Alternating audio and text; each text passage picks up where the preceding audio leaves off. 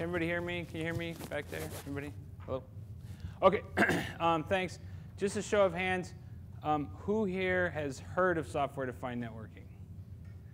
Who here knows anything more than that's what it's called?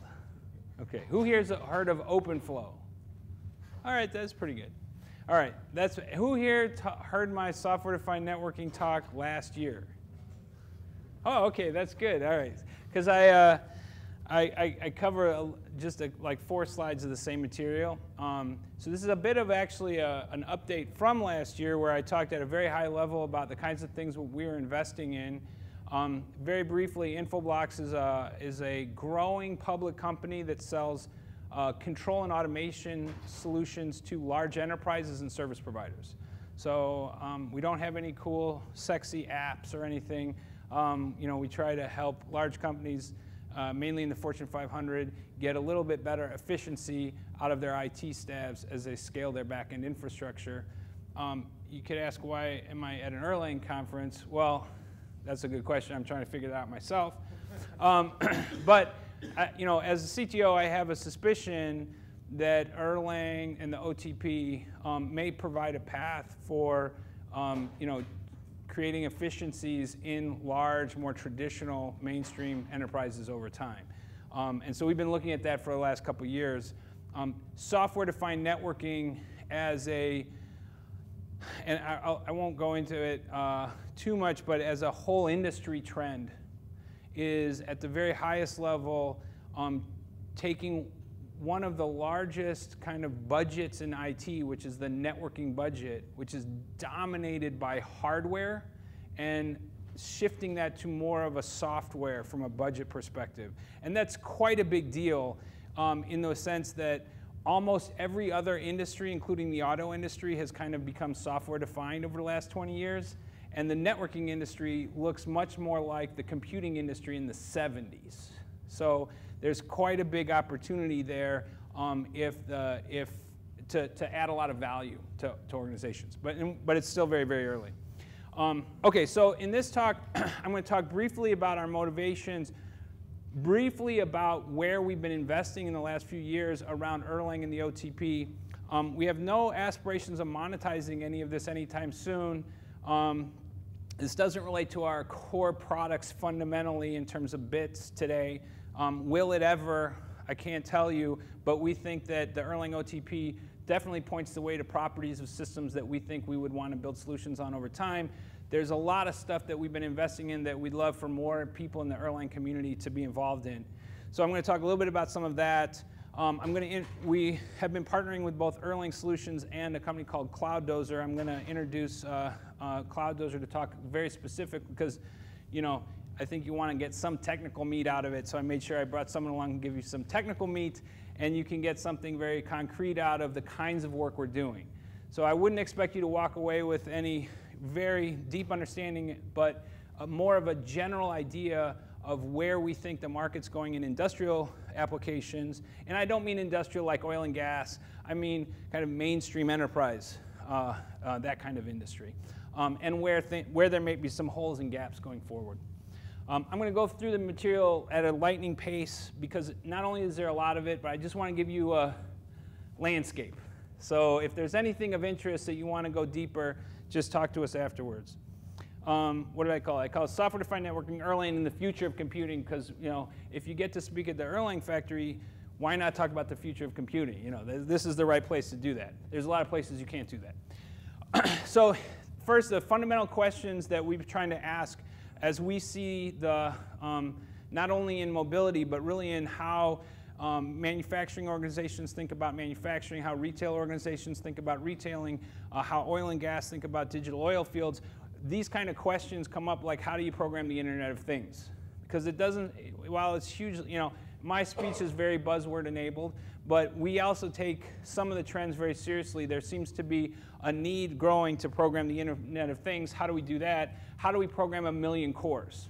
So many of our customers that aren't Google, which they're not a customer, but you know, aren't Google, aren't Amazon, um, still have or plan to have you know, millions of cores available to do the kinds of jobs that they need to do. That could be in healthcare, that could be in other organizations. So this seems a more pressing question than ever before for the general mainstream uh, enterprise. Of course, if you have that much hardware, it's failing all the time, right? I mean, just statistically, it's just failing all the time. And most of the hardware that our customers buy isn't like, you know, designed to last forever, right? It's relatively commodity hardware. So how do you do that? And of course, you guys already know the answer. Most of the world doesn't know the answer, so you get to be in on the big secret, which is, of course, it's Erlang, right? That's how you know how to program an Internet of Things, a million cores where everything's failing all the time. All the properties seem to be here in Erlang. I will caution this room, as I always do, that the properties seem to be emerging in Scala, AKKA, and Node.js. And I'll say very briefly that I think Erlang technically is way ahead. I think Scala AKKA has the JVM, and the Erlang community should be concerned about that and figure out how to deal with that. And Node.js has a very lot of bright people from Google pushing against it. So even if they get everything wrong, the sheer volume and velocity of what's going on in Node.js may be quite disruptive. So don't take these other efforts. Uh, but I'm a believer. I'm into Erlang, so you don't have to convince me. but if we think about very scalable systems, the Erlang OTP, while it has a lot of things very right, is still as many of you know, very constrained on the network side. And so we really look at that first, and that's where the software-defined networking came in. Um, there's obviously an answer if you've had any kind of high-performance computing background. That answer is InfiniBand, right? If you want to get great uh, um, performance and kind of properties out of highly uh, scalable clusters, you want to use InfiniBand. Uh, go ask any HPC team. The problem is if you want to actually sell products on InfiniBand, that's not going to work for you because it's too expensive, right? And so one way to think about software-defined networking as it seems to be emerging today out of efforts with, out of Stanford and others, OpenFlow and others, um, is that you could get possibly properties like InfiniBand at a much, much cheaper, more cost-effective way because Ethernet is absolutely pervasive. The story of networking over the last 20 years is not that the internet's so incredible, which it is, it's that Ethernet won. The world today is an Ethernet fabric. 90% of the ports that Cisco ships are Ethernet. Ethernet's everywhere. So if you had a model to remotely program Ethernet, to remotely program every single Ethernet packet, and by the way, whether it's Wi-Fi, 4G, or actually wired, the software, when it hits a microprocessor, thinks it's Ethernet. The Ethernet frame is a ubiquitous abstraction. So if you had a way to remotely program devices that handled Ethernet packets, that may be fundamentally give you basically and OpenFlow is such a thing, that may give you 60 or 70% of the functionality of InfiniBand at a hundredth of the cost. And a cost which, by the way, is dropping. Right? So that's quite exciting uh, if you're starting to think about these things, and if you're not, it's not exciting at all.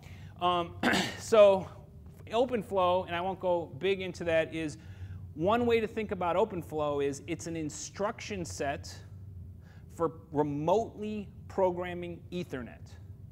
So if you imagined in this picture all of these um, green boxes as being hardware, Ethernet processing units. Like it looked like a switch, but they don't have the intelligence of an Ethernet switch. They don't have any learning. They also don't have the intelligence of other packet processing engines like firewalling or load balancing. They're eight at when they're put on, they're like a general server. They're ready to process Ethernet packets, but they don't have any um, semantic behavior before you plug it in and turn it on. And then you remotely connect to it and ask it, each one of these, to start processing flows, which is the flow of traffic from endpoint to endpoint. And they can process those flows at each one of those things in whatever way you want at runtime. So you need an instruction set for that. That's what OpenFlow is. It's the first pass at an instruction set for remotely programming general Ethernet processors. Um, it's the first pass. So I'm not claiming that OpenFlow is going to win uh, or be the, the most important over time, but it certainly is the most mature model for this. And this has been deployed all over the world now. There's lots, if you're interested, there's a whole community. I'm leaving here and going to the Open Networking Foundation, which owns the OpenFlow protocol today. That's very exciting. Um, but that is a fun, I mean, imagine for a second, again, Buying, not buying routers, switches, firewalls, and load balancers, which are the classic building blocks of networks, but you buy generic Ethernet processors, and then you remotely program in real time. So you're buying the data plane, we call this the data plane of the network, like you buy servers today. So that's radically disruptive to everything, and it also puts now the focus of attention at the control plane, and that's a software problem. So I mentioned before the way the hardware organization was in the computing industry in the 70s. That means that the networking could become generic boxes like Dell sells servers today and an independent software market in networking. That's never happened in the networking industry before. So that's a big deal. Okay. Any questions about that? Yes. So are all the data planes like strongly connected? I mean, how do the wires actually together? So how do these? So how would these connect together? So, um, well, you know, it depends on what your actual. But the model you can have is these are just hooked together with cables. That the that actually the topo, the physical topology could be almost random, because the logical topology for applications can then be programmed in real time given whatever the physical constraints are. So it's kind of like saying, how is my memory plugged in here? Well, it doesn't really matter. The operating system logically organizes all of the hardware on your laptop for your programs at runtime. You can imagine the same thing here. So there's clearly has to still be real um, layer two links, but think about it that way. You just have a layer two mesh that's remotely programmable. Does that make sense? Okay. Any, any questions about that? Okay, so we can talk more about that. There's lots of debates in the world about whether that'll work or not work, whether it looks like asynchronous transfer mode, whether it's going to fail, blah, blah, blah. We can talk about it. But we think that there's certainly something here here, right?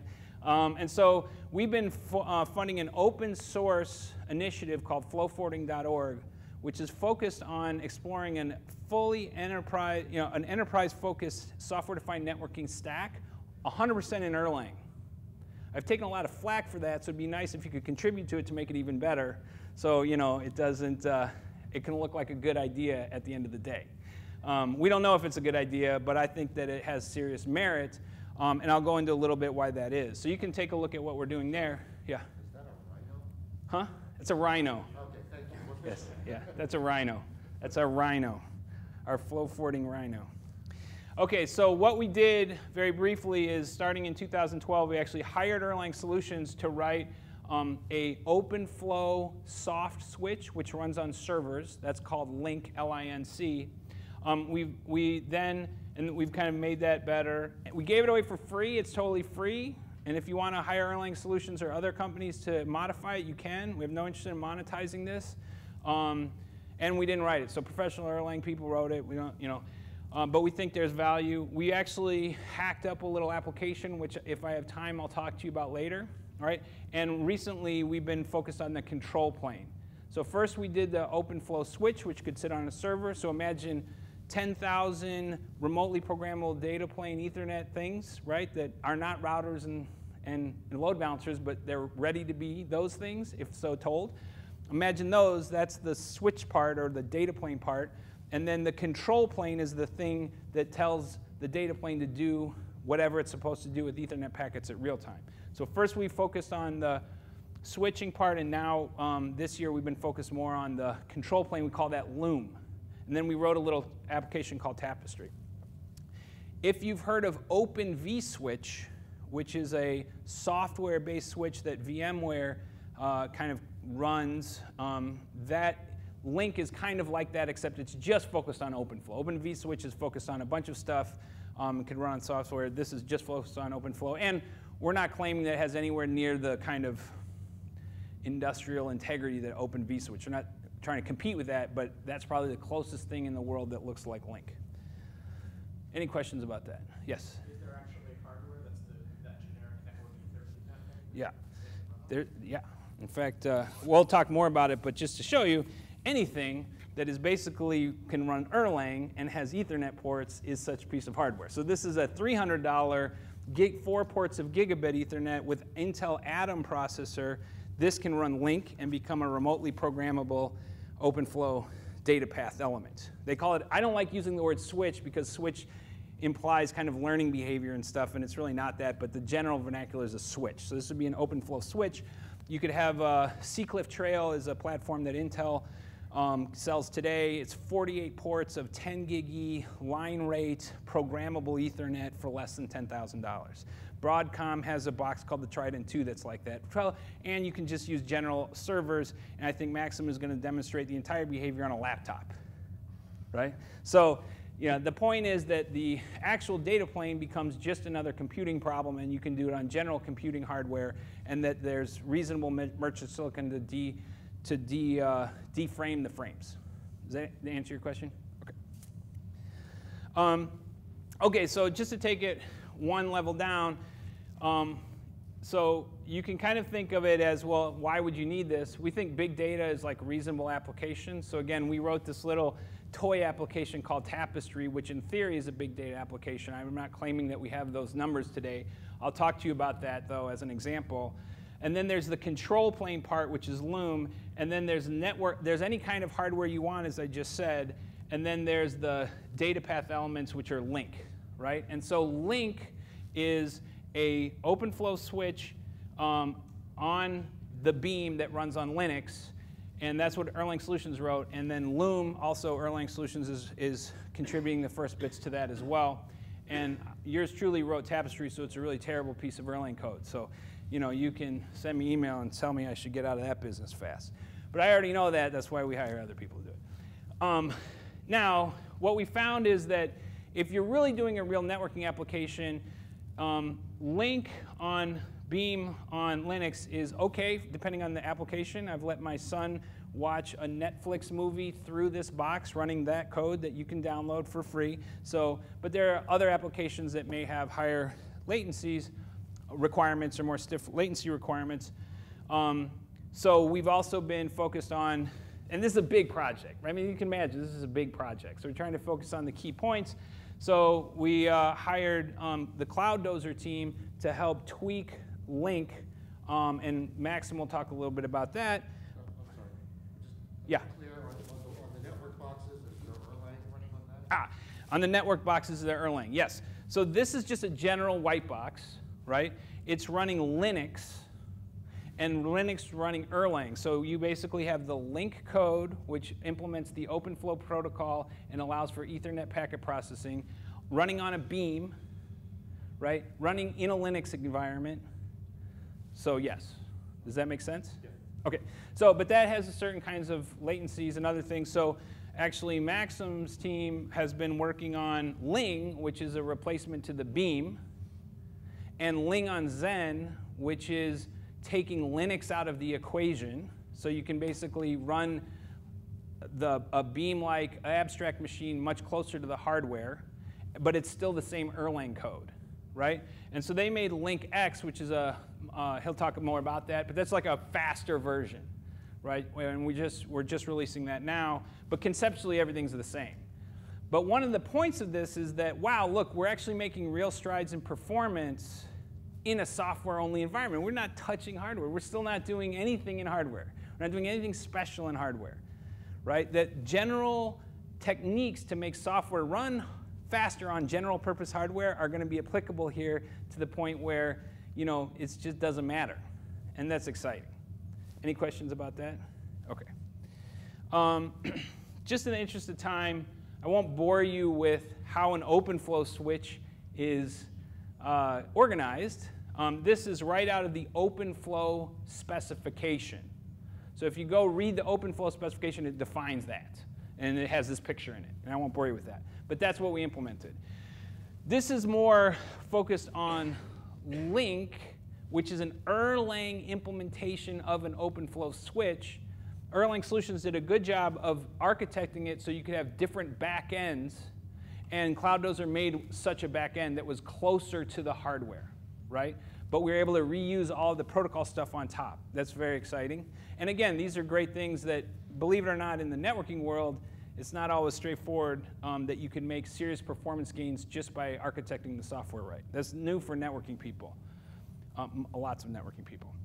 Okay, so with, again, in the interest of time, with that, um, let me just you know, last year I talked a little bit about this, but it has been hard to show exciting performance numbers. You know, I can, I can tell you, oh, we can kind of do this and kind of do that. But if you had something really you wanted to do, it's not super exciting. I think we're pretty excited about what Cloudozer's done with LINCX. So let me turn this over to Max. Okay, this is uh, uh, more like a, report for, for a stage of, the, of the project we got with, with the Infoblox. So Infoblox uh, asked us to first to demonstrate so that our, our uh, virtual machine, Erlang virtual machine called Ling, is uh, compatible enough uh, to run um, LINC switch and other software, and also then um, we realized so that it, it uh, should be worthwhile to try to rewrite a portion of a LINC switch to make it faster. So that's uh, we kind of uh, mostly completed this this stage. There are uh, many other things to to pursue, but uh, uh, the first results are promising, and so that's what I'm going to share with you now. So that's what, as I said, so that's first we demonstrated. So that's uh, the LINC switch, which is a pretty, pretty big piece of software. There's lots of dependencies, uh, um, comprised of lots of applications and lots of code. And it, uh, it runs on our virtual machine the same way and passes all tests. So that's, that's uh, part one. And the, the, we were fixing the so-called fast path, so that the portions of the of the switch which are called for every packet, so it may happen like million times per second. So this this is the behavior of those parts are very different from the uh, from things which may not called at all. So. Uh, the, so the fast path this requires definitely more attention from uh, than when you develop such things. Okay, so that's that's the that's the baseline. So what's uh, we, I don't know. That's if if if uh, Stu wanted to show these numbers, but these are these are real numbers from the. Uh, yeah, uh, these are real numbers from uh, the LINC switch we run in the standard backend. Uh, so, so I was was able to get to, to 200 megabits per second from from that software. And uh, so that's, uh, well, that may be good for some, for, some, for some applications. But the, the bad thing is that this memory consumption was outrageous. It was just ballooning and consuming all the memory. And uh, so on, on Ling, uh, it kind of behaves better because of the, so we got a, a slightly different um, garbage collection strategy. And uh, well, I, I guess uh, that the, the Beam people may easily tweak tweak Beam to to match the, those numbers. So that's this is not not this difference is not uh, that important. So what's important is what uh, what uh, we've done later. So we, we see that what the the the biggest, uh, biggest uh, uh, our concern was this latency inside the switch. This two, 220 microseconds. So this is, this is a, a, lot of time for, um, for processing of a packet. So this is the time then between the then the packet appears on the interface and then uh, until it, it uh, goes goes away. Uh, so this, these, are, these are the latencies between various elements of, the, of this setup we, we measured.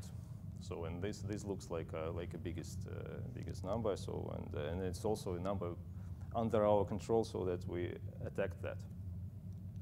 So what we did is that uh, we implemented a new backend and the first, the first thing that we do is that we implemented uh, flow tables, open flow uh, uh, flow tables. Uh, you may understand what, what, what, I mean. It's essentially uh, it's a, it's a uh, matching rules and certain actions which should should happen if everything matches. So it's so natural to map those matching rules onto onto pattern matching in uh, Erlang pattern matching. So that the, we uh, did exactly that. So what we, what we are doing, we're taking uh, open flow, uh, open flow rules, and we translate them dynamically into Erlang code.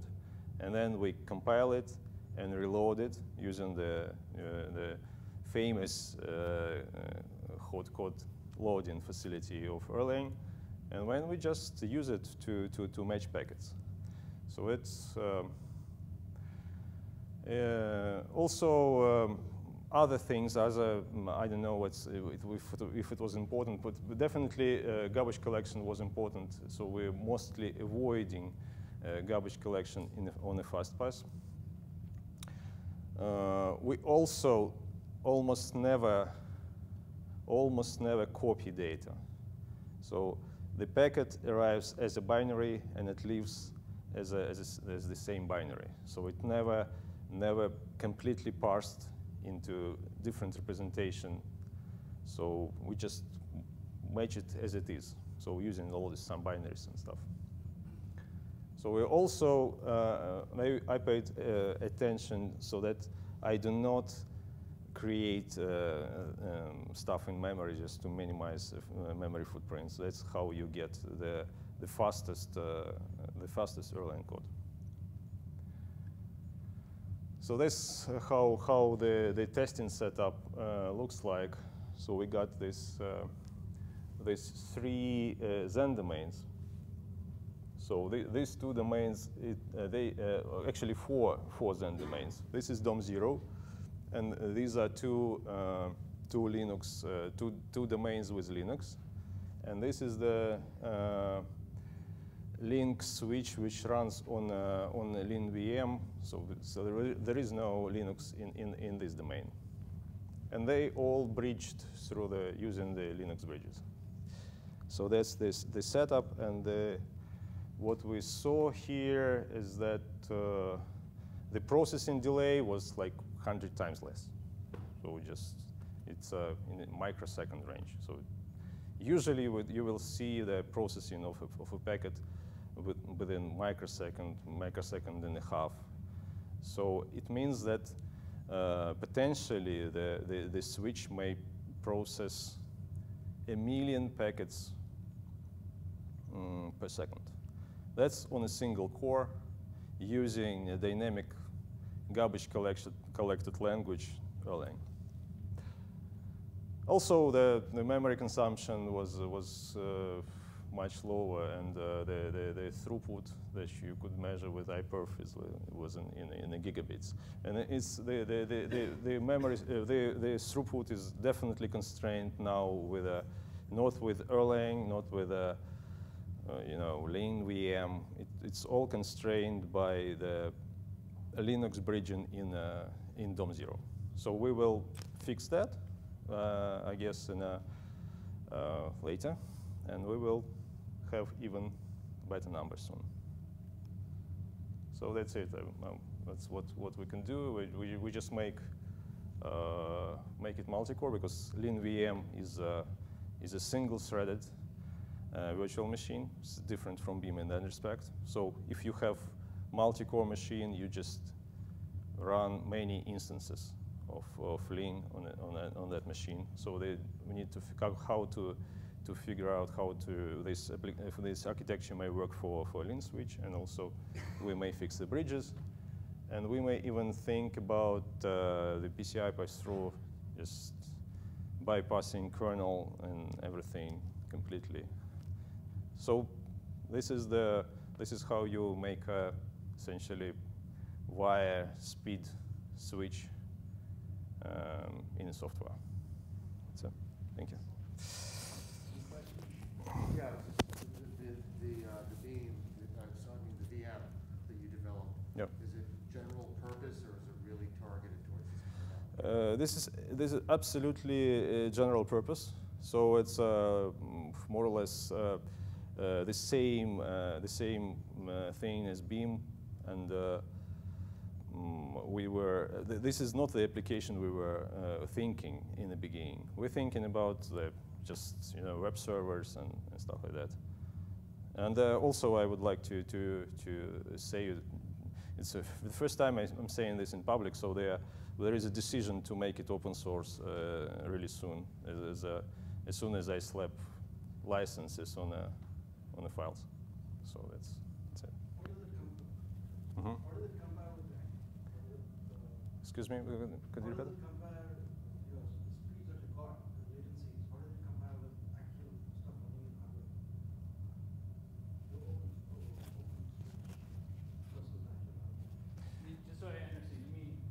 how it compare with how it compiles?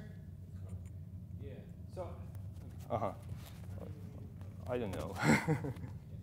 oh, oh, what? I uh, the question is, so that was VM versus VM. How would it compare if we actually had real hardware? Oh yeah. Okay. Yes, I, uh, I guess um, I'm not the person who can answer that because I'm not a networking guy. I'm, I'm an Erlang guy. No, no, but I think the question was like when you put it to real interfaces like you did today. Oh uh, yeah. So, uh, so, what what we did today is that yeah we we uh, it's not we tested the same thing in a in a not in the VM but in the in the real hardware again with all these Linux bridges, and uh, we saturated one one gigabit interfaces. And uh, well, we we didn't have uh, bigger interfaces, so there's no test for that. But okay, mm -hmm. so yeah, just to repeat that, you can imagine my excitement because the VM to VM speeds are, you know, um, several times higher than in that case we had gigabit interfaces. But then they, they're in shooting distance to get above 10 gig on the inside. So you could imagine now we're within shooting distance, maybe it's another year or two, uh, to get 10 gig, you know, um, line rate on a pure software-based switch, which, by the way, is in a garbage collected dynamic language, which has a functional uh, interface from a programming perspective. Right? I mean, if you ever want to sit in a room and see actually something historic happening, you are right now, actually, right? And you know, it may take a little while, and we may not be the only group, and we don't care. I mean, we think this is a very fundamental demonstration of what's actually possible in software when it comes to networking. Um, and when you couple that with a very strong model that's been well developed over the last four or five years for programming such a thing remotely with OpenFlow and all the work going on in the controller and control plane and other things, which also lend themselves to Erlang OTP model, right? It starts to get a bit heady, right? So we're quite excited. But again, there's just a lot of, there's still yet a lot to go along the lines. Yes? What what's their reaction from big networking companies like Cisco? Well, that's a great. You should ask them. Actually, you should present. You should tell them to watch this video and ask them what their reaction is. You know, I don't know. I mean, I really don't know. I'm not. You know, I come from a company that sells automation solutions in the networking space, but we don't sell any data plane products. So we're completely on the automation or uh, application level control plane, things like DNS, DHCP, things that are like that. So we're not in the data plane business. Um, our customers obviously buy a lot of data plane hardware. I would say at the very high level, um, it seems like the, there's a tremendous savings to be had if all of the rest is there, which we are not claiming that it's there, and we're not, you know, who knows when it's there. It seems inevitable from a market perspective, but the timing seems fuzzy at best. But there seems a huge capex opportunity to fund software and create great opex uh, gains.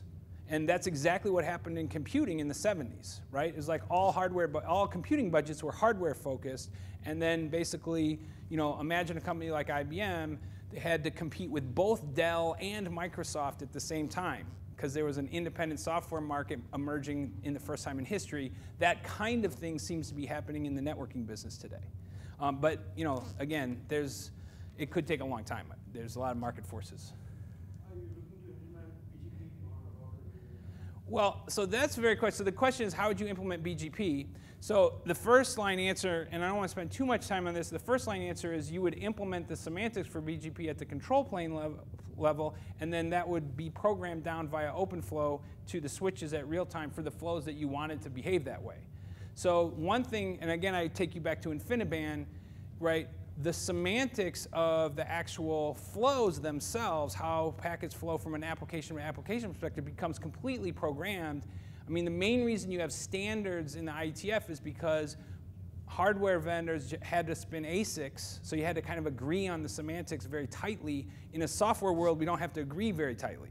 So it's not clear that the Internet of Things really is the Internet of Things. In fact, I think IDC suggested it might be called the Interactive Network of Things. Um, so, and you know, even companies like Huawei have been uh, investing quite a bit of research into protocol oblivious um, switching like this. So you can think much more of the, the only real hardware-based abstraction that's important is the Ethernet frame, and then after that, it's all software right? And for tightly clustered applications, like you might find, and I'll talk about one of them, then you could actually have your own protocols if you wanted, just like you would if if you're programming InfiniBand, right? We don't have to worry. So, uh, but you can also interoperate with all the uh, regular stuff. You can kind of take that offline. Yeah. So how does it fit the whole uh, story uh, in the space of audio and NFV Say, say that again. How does it fit in the uh, this story into the like audio and NFV, you know, the open daylight? Oh, okay, okay. So the question is, so there's there's a couple things going on with the label software-defined networking. Um, how does this story fit into that? And the two things you said are um, kind of network function virtualization (NFV) and Open Daylight, and I would say also network virtualization, similar to what VMware is doing in NSX. So kind of those three hotspots. And I would say the open flow style of a fully commoditized Ethernet-based data plane, which is remotely programmable, is well beyond any of those, right? In every sense of the word, right? Like it's not clear what the market is for that. It's not clear what the initial applications will be. I'll talk about one possible type of application. Um, and it's not clear how the other market forces, you know, what the timing is for other market forces to even allow that to happen. Network function virtualization and network virtualization are kind of on the ground demands for a certain level of efficiency and automation, and you can buy products like VMware's NSX product, or you can think about Open Daylight as a way of kind of better automating your current hardware-defined network. Right, so I'd say they're kind of paths along the way, but they're a bit paving the cow paths. So one, we're pointing at a different kind of future, which is when software trumps hardware for the first time in history in networking, when price and programmability trump performance for the first time in history in networking, and when you can't just pave the cow paths, when you sometimes need fundamentally better semantics in your network, then this model seems to be, have a lot of promise. And, and when you can program your entire application stack all the way right down through the network. Yes. So I went. That's what I. So so one question is okay. Oh, all right. Maybe I'll. I, I was off one slide. So let me go forward and say exactly that. So let's just take take a let's just take a look at kind of the state of the art if we are thinking about programming an entire distributed application. This is why I'm here at the Erlang Factory. I believe that the Erlang community is one of the very few communities that understands distributed computing, right? Truly and fundamentally. Um, and so one way to think about it is that today, whether it's cloud, private cloud, or embedded systems, what, what you really have are two, are these four kind of fundamental things going on. At the hardware level, you have ridiculously inexpensive, commoditized, ubiquitous network processors and microprocessors. MIPS, ARM, x86, to me, they're all the same, right? If you ask hardware people, they're quite different, but let's just, for the sake of software people, they're pretty much the same. As an abstraction, you basically have two fundamental abstractions you can think about software on top of. One is the Ethernet frame, and the other is basically what we now think of as the hypervisor on top of any of these microprocessors, right? So think about Xen, think about the Ethernet frame. Now we've got a very solid foundation for doing an entire stack because we just demonstrated doing Ethernet packet processing in Xen uh, in real time. And if we were going to do make an application like Hadoop, which I think is a nice kind of classic distributed application that happens to be data intensive and needs to move a lot of stuff around. Today, the state of the art is there's a tremendous amount of cruft in the, in the middle. I mean, a lot of complexity. All the operating systems, all the abstract machines, whether it's JVM or Beam or whatever, all the clustering frameworks, all the databases, it's just tremendously challenging to put up what seems actually conceptually is a pretty straightforward application. So I would make the, the argument that we're in a very specific time in history because of this ubiquitous hardware that Ethernet plus multi-core ubiquitously available processors says, look, there's really a new machine available for us to program, right? It's a bunch of cores that are connected by Ethernet. That's exciting. There's a guy in 1984 who worked for Sun Microsystems who said the network is the computer, this actually may be the right time for us to think deeply about what that means and how to, how to, uh, how to program such a thing. So one way you could say it is we just need something better at that scalable systems abstraction level, right? We have these are there, the Ethernet frame and Xen. What if we had something that had SDN inside, distributed graph databases, functional languages, looked a lot like Erlang OTP, right? But modernized for ubiquitous and huge number of, of microprocessors and the ubiquitous ability to program Ethernet. And then probably at that scale, everything has to be analytic, right? You're not going to be able to make a many optimization choices a priori, right? You want analytic processes as kind of deeply embedded into that kind of control plane. But you can imagine writing a Hadoop-like application in a single stack and having it all work, right? You're not, and that's that. You know, even if you get halfway, that's pretty exciting, right? So we would say this is um, seems like a big project so maybe that takes 10 years, but that's okay. Um, we'd rather focus on this than some of the other clustering projects going on, frankly. It seems more fundamental. So if you're interested in big, ambitious project, this, we're certainly happy to talk to you about that. And I think we're demonstrating that you know, we're getting there, right? So if you think about Erlang OTP and OpenFlow and Xen, you know, we're starting to see something rough out like a proof of concept for such a distributed framework. I will tell you again that if you have um, you know, JavaScript engine and a lot of bright people that you know this could be done in Node.js could turn into this, right? Scala Akka could turn into this. So we like Erlang, but you know there are no winners. You can't predict the winners. A lot of it will be how much energy, attention, and where the focus is on applications, and you know there. So, what's that? You know, like what? So this was a big deal, right? Because now you can say, well, at least you know it's definitely possible to monetize Erlang in a very major way. We already knew that already. No disrespect to anybody in the room has made you know huge value contributions with Erlang OTP, but this was an attention getter. Um, but I think that this still begs the question: if we had such a system that I talked about earlier, what are the apps? I don't know. If you know, we should talk after the meeting. if I did know, I probably wouldn't be just talking to you right now. I'd be doing something else. Um, but I think this is an exciting time to explore the application space. Um, and so I want to talk about one application we wrote on our little proof of concept, right? Um, that is a big data application that's related to networking. Um, and it's called Tapestry. So you can, it's just very simple, not very many lines of code. I wrote them, they're terrible. So if you'd like to rewrite Tapestry and make it cool and good, I'd love that. Uh, won't be offended. Um, but it's a big data application that computes a complexity number um, for your network. And I don't mean your traditional network, I mean your collection of distributed devices that are working together.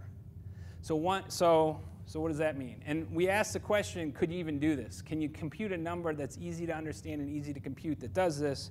Uh, so we think so.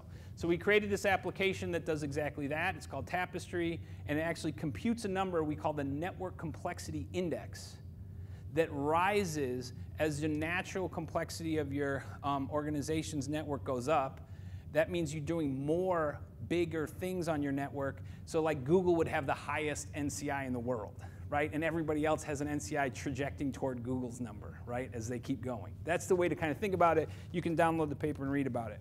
Um, how does it work? So the only reason I put this up here is um, what is because not because of this. I don't want to talk about this specifically. That it's a big data application in the sense that we have to detect communities of things, right? So it's like a graph processing application. So it kind of exercises all the different pieces, and it's getting data in real time from the network itself. So it exercises the entire stack. I won't go fully into that. I'll just say this: the what we're doing here is using we're just looking for triples by monitoring the recursive DNS layer of an organization um, and finding out which endpoint is talking to one what other endpoint, right? And that gets a kind of graph, right? And so you can think of just we're collecting a bunch of triples of at this time this endpoint connected to this endpoint, right? DNS is like a 100% predictor that traffic is going to flow between two endpoints. So you don't have to actually monitor traffic, you're just monitoring the signaling layer, right? And then we get these huge graphs, and then we pump it into a, um, a, a, a actual analytic that does um, community detection. We use label propagation method, which you can download the code and read. And then we uh, have a very, very simple formula that allows us to find the network complexity index. And I, again, I won't go, torture you with this, but basically think of it this way. If you had a Hadoop cluster of like a thousand nodes, that would be one activity on your network. If you had uh, 10,000 sensors doing something together, that'd be another activity on your network. And the index is basically a balance point between how many activities you have and how many big activities you have. So the more big activities you have, this kind of floater goes up, right? And that's based on a kind of way of thinking about things that uh, came out of something called the H index. So you can read about that. So here's how it works, which is pretty interesting. You have DNS recurse, like a large organization, like a large retailer may have tens of thousands of internal DNS recursive servers. I happen to know that because I work for the company that is the largest commercial provider of DNS servers in the world. Um, so it's really true. And, uh, and, but what we do is interesting, which is you have all these recursive DNS servers that have the, all the endpoints saying, where is this, where is this? We put an open flow switch link in line to the DNS server. So not in line to the endpoint traffic, point to point, but in line here. And then we flow all of that data back into some data center somewhere that's running Loom, not only the control plane for these OpenFlow switches, but actually doing the big data computation on the data itself. So we're doing it all at once. We're controlling how we tap the network, because these are general Ethernet processors. So if you had something like a Gigamon, you don't need that, right? You just have a general server you put in line. We're tapping the network. We're flowing that all the way back up to the data center doing a clustered, you know, big data computation, creating the number and putting the graph out. Um, yeah, so I have all these kind of crazy pictures. One of the reasons I have the crazy pictures is to point out that we don't really think about the physical infrastructure at all. This is kind of all logical but very distributed infrastructure. You have the data center here, which could be running SDN itself as Loom scales, and then you have the branch offices that are running open flow switches. So we're really talking about a model of fully distributed computing. Not distributed computing in the sense of just the data center, and not distributed computing in the sense of just the out edge, right? But the whole package, right? And so with one fairly simple software stack, we wrote something that lets us do the whole package, soup to nuts. And that is kind of exciting. But there's a lot of work to be done. Any questions about that? If there are, we can talk about it after line, probably. That's like the fast. But I think the, to kind of conclude, just think about it if servers equals switches, if these are really, as what we're demonstrating, the same thing, there's no real distinction between a server and a programmable data plane anymore, then that's a picture of John Gage. You know, may, yeah, may, I can only show this at the Erlang factory. This is why I like coming here. You know, maybe we can look past the clouds, right, to the Internet of Things, right, and really realize that John Gage, the network is the computer, ubiquitous. I think we are much, you know, substantially material closer to doing that, and that's super exciting. I, I, gave these two slides at the last, at the end of my last talk, which are there's still huge problems, right? I mean, I give one which is not representing this slide, but if I had 10,000 OpenFlow switches like this, and I wanted to lay down a million OpenFlow rules across 10,000 OpenFlow switches to do some set of applications. I don't want to think about that. That sounds like a compiler problem to me. If OpenFlow is a instruction set for programming Ethernet, you know, we need compilers for that, right? So there's a bunch of stuff, you know, you can't think of, people in the SDN community think about northbound interfaces, that's not gonna work. I don't wanna think about it, I need compilers. Sophisticated compilers that do things like the pattern matching that we saw there need to go there, so, you know, we're just not there yet. So there's lots of work to be done. I'm not claiming this is gonna revolutionize the world tomorrow, but there's a lot of interesting problems to be done. Um, and we just don't even know how to think about it in the abstractions. Um, like the Haskell people say, you know, I/O is just a side effect, right? Well, that's clearly not the right model for this. So, you know, maybe there's a model where communication is just as fundamental as compute, right? And the Erlang community has been talking about that for a while, but there's no deep theory that suggests that's actually true. So if you have any bright ideas or you're a theoretician, please talk to me after the thing, and that would be interesting. Um, but really, this is a call to action for, I think, one of the most exciting distributed computing communities in the world today. Um, and just to show you that, you know, you may be like the PC people in 1976. it was clear that it was all could happen, right? But it's still a little bit far away. But if you're really focused now, in the same way that say Microsoft was in the late 70s, there are huge opportunities right over the horizon. Um, and we'd love to certainly work with you and, and get you involved in this organization. Okay, any questions? Okay, thanks.